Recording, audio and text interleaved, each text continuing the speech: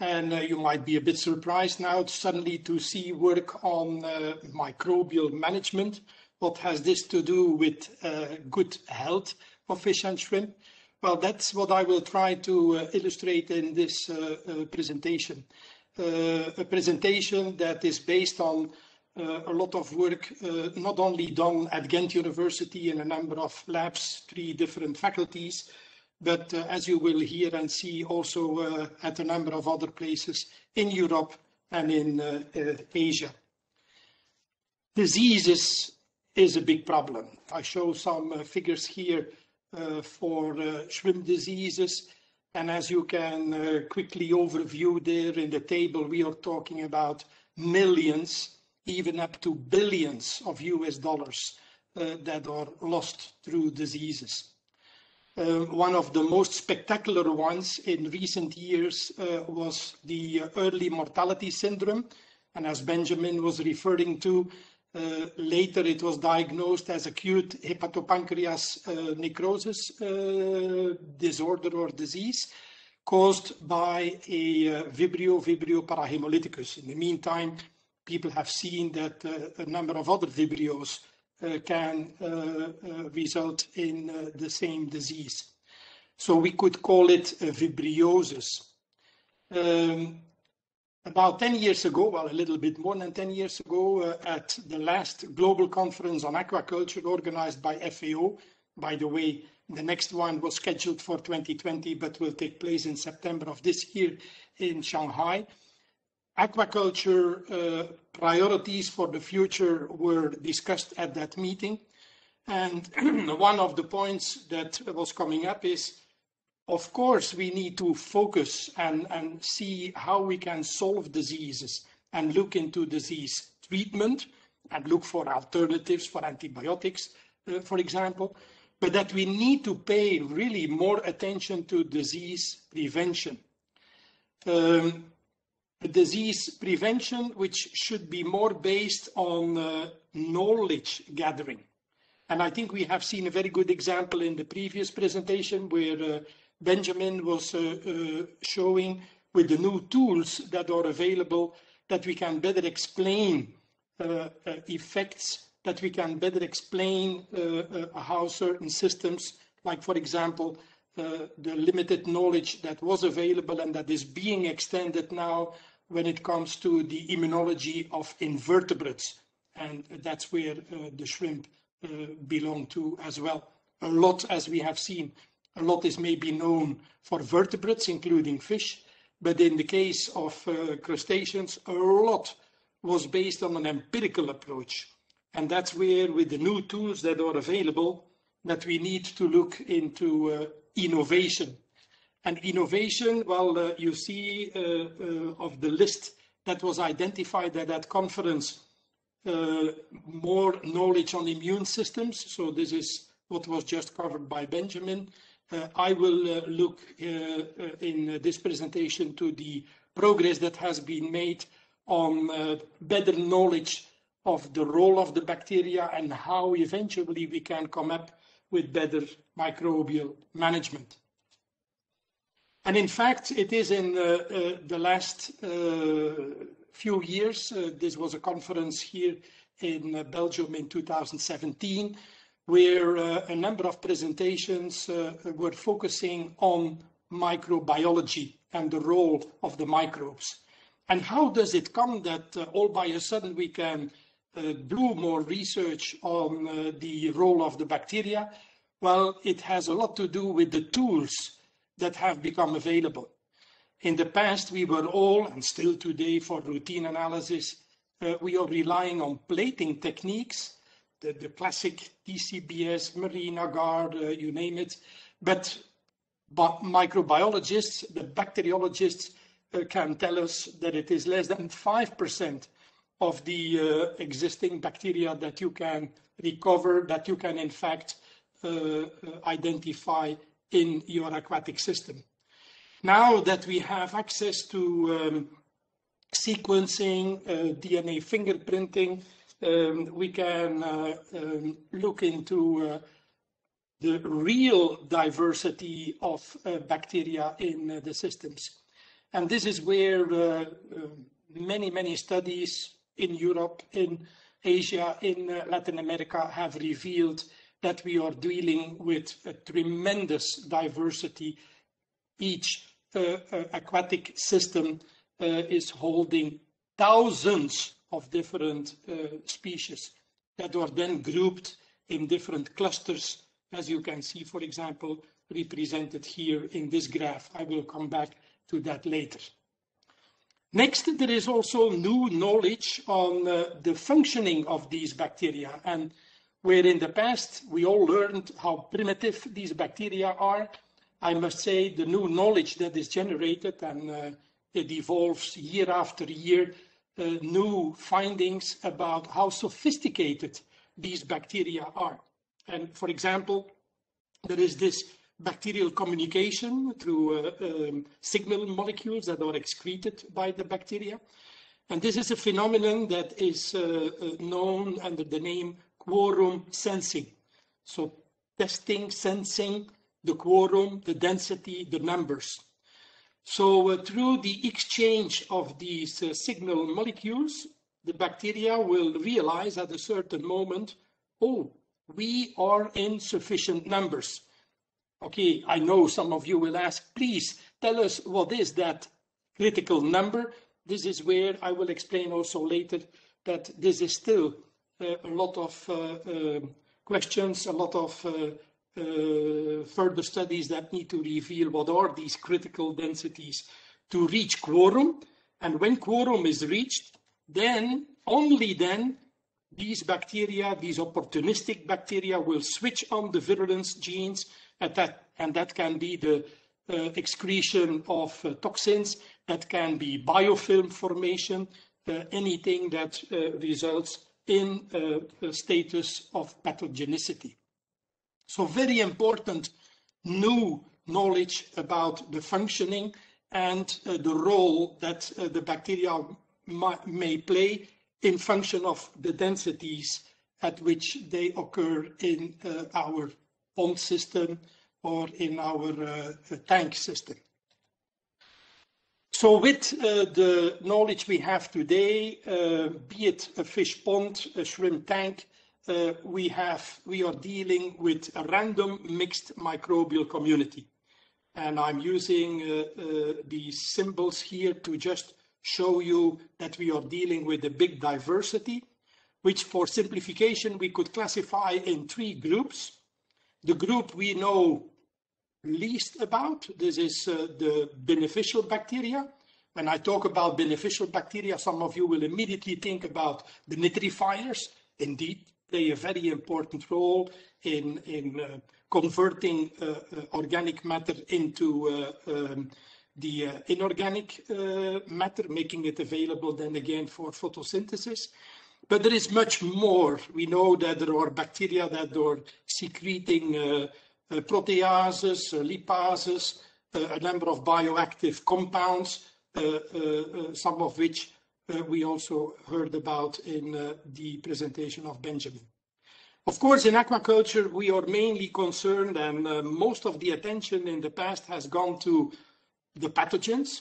Uh, of course, in the first place, the obligate pathogens, but a group we were not so well aware of and we didn't pay enough attention to, it had to do with the fact that we didn't uh, have the right tools to study them, was these potentially harmful bacteria, the opportunists, the ones that, uh, as I explained in the previous slide, react on uh, quorum sensing.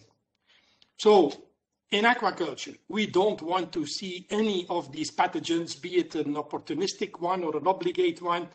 We want to get them out of our system. And how can we accomplish that? Well, this is the classic disinfection technique that we are applying.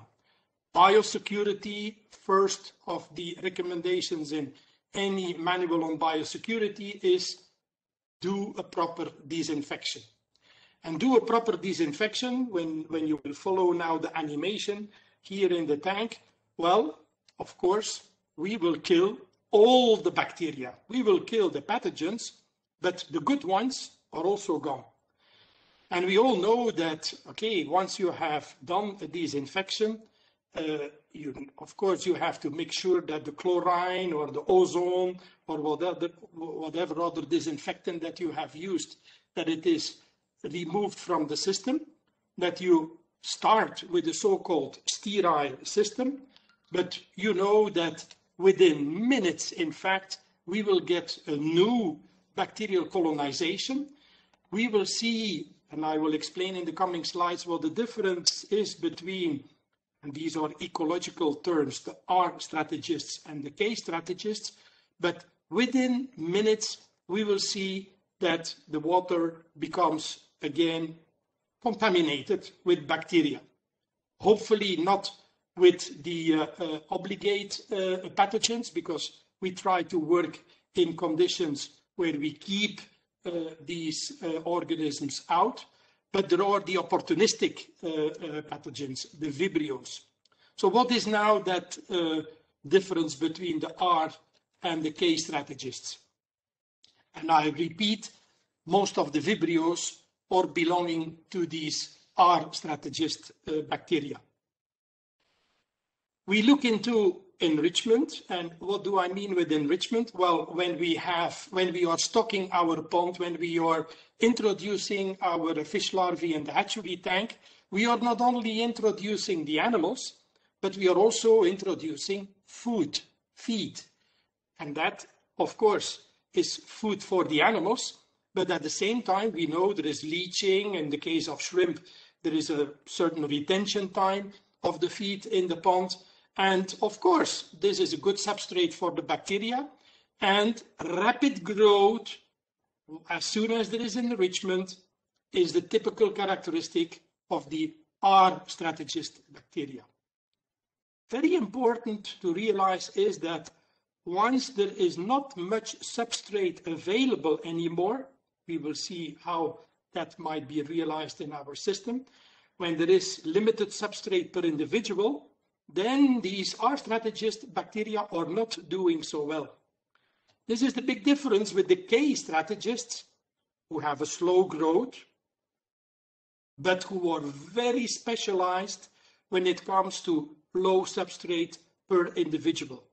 So that means that maybe in the beginning, when uh, we are uh, starting in an environment where all the niches are open, because we have made them open through that disinfection, wow, the, R strategists will have a good chance to bloom and to develop.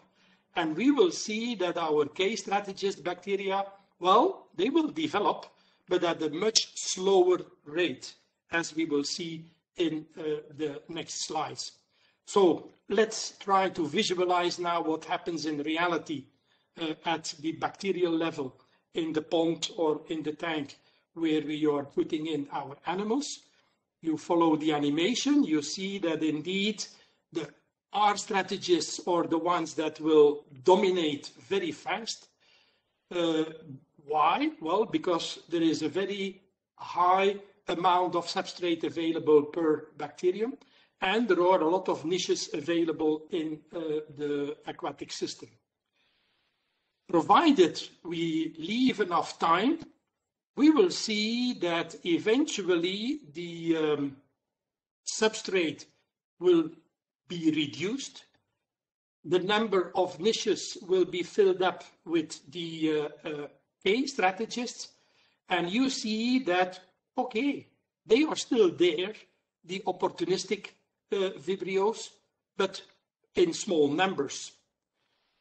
In the beginning, and, and that's where we had that typical phenomenon uh, in uh, shrimp uh, disease problems called early mortality syndrome.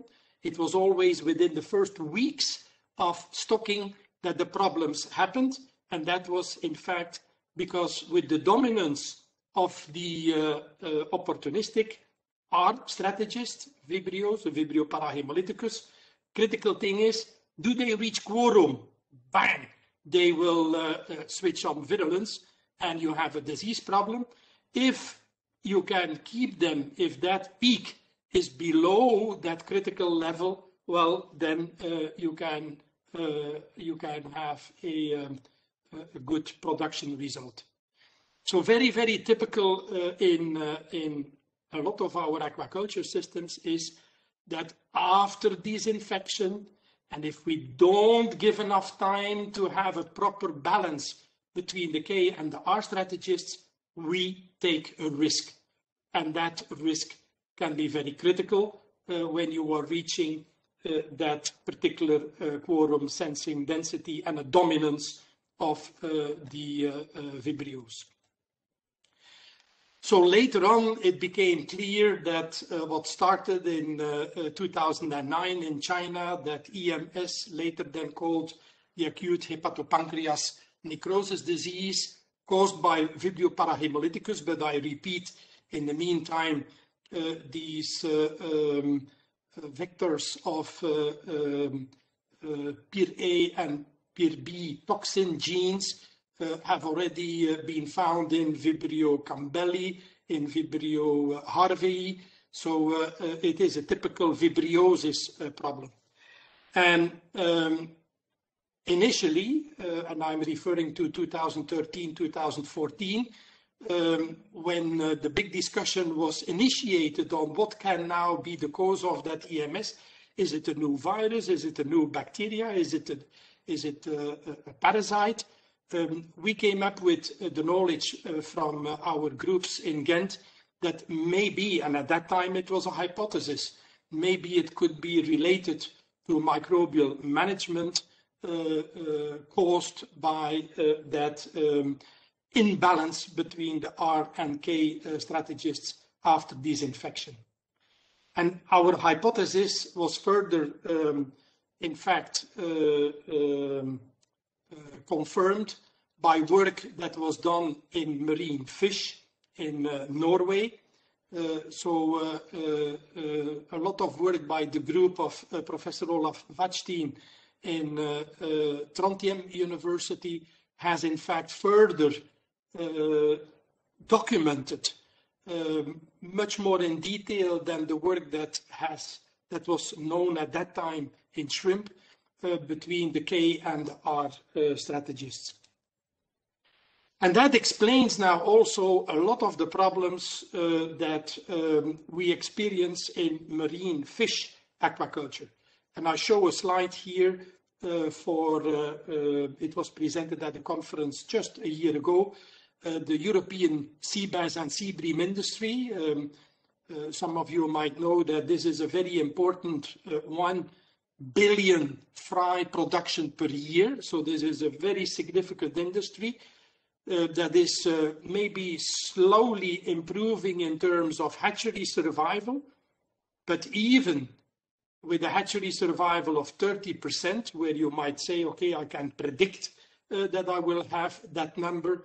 Well, the big problem is that you have a huge standard deviation. That some runs, you have 60, 70% survival. But in the next run, what happens? You uh, have a very low survival, or in many cases, after three or four days in the hatchery, they can open the tap and drain the animals. Finish. Initially, it was a hypothesis that maybe some bacterial uh, interferences could be the case because people were able to prove of course, unsustainable practice, and then later on, absolutely forbidden for a number of environmental and human reasons, that when they were applying antibiotics, that they could improve the survival. So uh, with the KR strategy uh, uh, uh, theory that we are aware of now, unpredictable performance has a lot to do with the uncontrolled microbial community caused by, on one hand, the suboptimal conditions where you might create conditions where uh, you favor these opportunistic bacteria, particularly after you have done a disinfection. And what we had underestimated, also the fact that using the live food, the algae, the rotifers, and the artemia, we were, all of us, we were thinking about nutrition, but we didn't realize that for example, algae grown in outdoor systems, uh, when they are beyond uh, the peak of exponential growth, uh, you have dying algae that is a good substrate for bacteria and Who are the first to benefit from? Of course, the opportunistic bacteria, the Vibrios. Same with rotifers, same with Artemia. We need to uh, look into more biosecure production of live food, as I will also explain a little bit later. So the practice in hatchery tanks of uh, uh, regular water exchange and where people thought, okay, maybe that might be a way that we can control the system. Well, with the knowledge that we have today, we realize that this is not a good practice because water exchange will result in a washout of the bacteria. And you might say, yes, but that is exactly what we want to do. We want to uh, remove, we want to uh, wash out uh, these vibrios. Yeah, but at the same time, you are washing out also the good bacteria, and the good bacteria require more time to colonize. So here you see, contrary to the slides that I showed you earlier, we can maybe reduce the level of the Vibrios, but we might still take the risk that uh, quorum uh, might be reached or that other phenomena, as I do not have the time to explain unless it comes up in the Q&A session, uh, phenotype switching is a new discovery in Vibrio behavior and switching on, switching off virulence. So what is the best way to control the opportunistic bacteria in hatchery tanks? Application of a biofilter. Because in a biofilter, you just create all conditions to favor the K strategists and let them dominate over the uh, R uh, strategists. Okay, some of you might say this is all very nice and well for application in hatchery, but um, we also want to see how can this be applied in outdoor systems, in pond systems. And in fact, I will show you in the next slides that rather than to have to use a RAS system, we can also think about integrated uh, farming systems. But let me first come uh, to a first conclusion. Recommendation by the EU, as you will see at the end, now also taken up by FAO. There are a lot of good guidelines on the GAPs, good aquaculture practices, but we have to realize that time by time we need to do a revision. Time by time we need to learn about the new knowledge and maybe adjust the recommendations uh, that you see here and extend them with uh, extra efforts that are needed in biosecurity. And these extra measures in biosecurity are mainly dealing with microbial conditions where uh, our Norwegians, Norwegian friends are talking about mature water. Uh, uh, in Asia, we are talking about uh, the green water, but where there is a role for the uh, uh, probiotics, for the bioflocs, for a, a biofilter. I referred already to live food with the algae, the rotifers, and the artemia, particularly in the hatcheries. And then throughout the production cycle, it's not just the seed material that you are using that should be special pathogen free. We need to see throughout the production cycle, how can we keep these pathogens under control? And uh, this means not only the uh, obligate pathogens, but also the opportunistic ones, the Vibrios. And how can that be done in pond systems? It's very good that there is already first application, and uh, I must say I see it expanding very quickly in Asian countries, and hope to hear the same maybe in the Q&A session, some comments from uh, uh, you participants from Latin American countries, but where in the past it was all pond area used for intensive shrimp uh, production, 50, 100, 150 per square meter, applying the uh, uh, uh rotation uh, aerators. But now zero exchange systems are applied. That means that uh, water is recirculated over what is called a shrimp toilet. But then uh, in most of the situations, it's either with some seaweed, seaweed and tilapia, or uh, only tilapia. So uh, brackish water, uh, uh, of course, tolerant uh, tilapia, in the case of Thailand, they are very successful with the integration with Caulerpa Uh, uh, seaweed, which in the meantime even has become an extra crop, an extra added value in the shrimp farms. And very important uh, to see here that the Vibrio parahemolyticus is still present in the system. Even the Vibrio parahemolyticus carrying the genes for the PIR-A and the PIR-B toxin. But this Vibrio, under these conditions, uh, is not expressing virulence. It could be related to quorum sensing. It could be phenotype switching. It was interesting to hear from Benjamin that incorporation of uh, seaweed in some of the shrimp feeds resulted in a better resistance against uh, challenge test with Vibrio parahemolyticus. This could be a phenomenon uh, which is now known as uh, phenotype switching. Very interesting uh, uh, table here from uh, the CP company in uh, Thailand. The conditions in 2010, so that was before uh, the EMS problem, before the farms started to do routine disinfection. And what is accomplished now, let's look at the figures here for 2016. Um, they applied that so-called zero exchange system. So that means that only half of the area that was used before is now used for intensive shrimp, but half of the area is used in that recirculation, in that kind of integrated farming system. Where you had the big drop uh, in survival when EMS broke out, see that we are back to good figures in terms of survival, and of course that this results in a better profit. Initially not easy to explain, I remember meetings and discussions in Vietnam and a number of other countries telling the farmers you should, you should use only half of your area for shrimp and the rest for recirculation. And I remember some of the farmers telling, yeah, this is again a scientist. And you think that with that I can convince uh, our managers that on half the area, we will uh, be able to make a profitable production. Look at these figures here. This means that you have a predictable production because you can work under uh, more stable uh, conditions.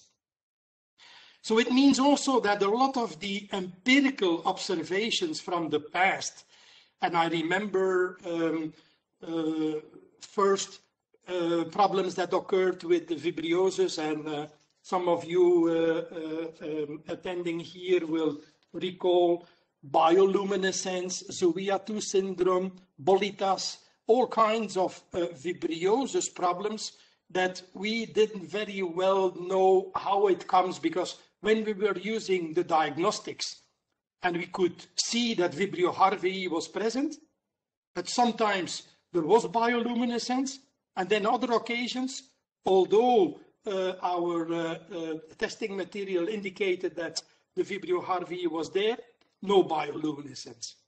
So this is where uh, very interesting to uh, uh, see the trial and error experience of farmers where they were smelling the water. And I still remember when the farmers in Taiwan were, were telling me, we can smell this is a good pond water to do stocking of the shrimp. This other one has not the proper smell. It all had to do with that community, that ecology of probably uh, uh, the algae, but also the bacteria. So green water systems, tilapia co-culture, very popular, for example, in uh, uh the Philippines and now taken over uh, by a number of other countries. In the Philippines, it was mainly seen as a preventive measure against white spot. I will, uh, in a moment, show you the slide of the synergetic co-infections. Well, today we know that the tilapia co-culture is mainly to keep the vibrios under control. And when you can keep the vibrios under control, the risks for uh, WSSV diseases is decreasing. Probiotics can be used, uh, recirculation systems, as I have just shown in the previous slides. So these are uh, uh, two papers here uh, where uh, we see that we need to pay more attention to these synergistic effects of co-infections and where probably we had underestimated in doing that work in the past the role of the Vibrio in uh, these uh, co-infections. And that confirms very well with the findings, for example, in the Philippines with uh, the uh, uh, co-culture with uh, tilapia. So that brings me to the end. Take home message is uh, already also uh, taken over by FAO, recommending that we need in aquaculture, be it at the hatchery level, be it in the nursery, the maturation or the grow out, we need to develop and adapt better microbial management protocols. Protocols to not eliminate the disinfection. This remains an important, an important uh, uh, step in uh, good biosecurity, but we need to see what kind of stabilization, what kind of mature microbial system we can induce. And this is where probiotics and already being used, but we need to better understand, we need to do uh, uh, more uh, study on uh, uh, what the exact role and what the exact composition is of these good uh, bacteria. And this is where uh, we are uh, uh, expecting FAO also to pay more attention in, recom in recommending future research on microbiome as an important knowledge gathering to learn about better microbial management approaches. Thank you very much. And uh, if you want further information, you can go to the website of the uh, UGent Aquaculture R&D Consortium, a consortium of several labs specialized in different disciplines, different uh, faculties, but all zooming in on these problems in uh, aquaculture. Thank you very much.